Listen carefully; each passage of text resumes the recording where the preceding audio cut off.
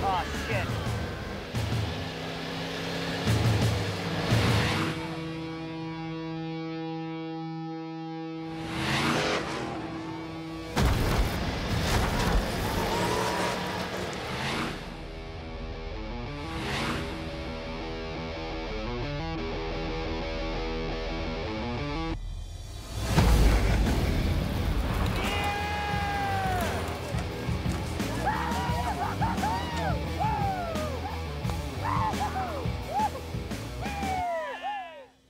My uh, 12th grade teacher was right, and I was meant to be a bus driver.